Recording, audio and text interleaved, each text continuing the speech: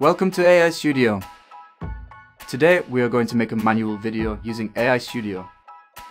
Click the New Project button on the first screen of AI Studio. First, select a model. Choose the model you want and choose the outfit. The model can be freely repositioned.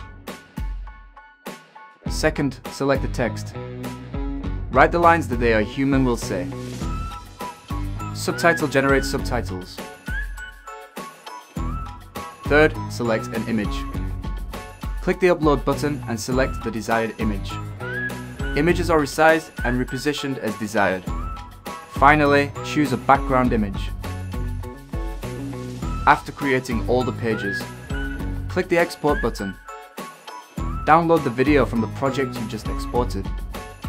Now, you have completed the manual video.